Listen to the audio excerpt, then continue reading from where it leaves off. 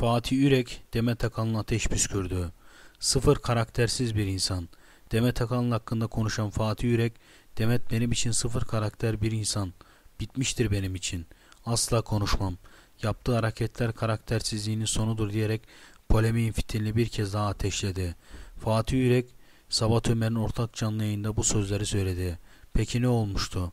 Ablasını kaybeden Fatih Yürek cenazesine gelmeyen Demet Akalın'a tepki koymuştu. Lütfen siz de görüşlerinizi yorum kısmında belirtmeyi unutmayın. Kanala abone olursanız şimdiden teşekkürler.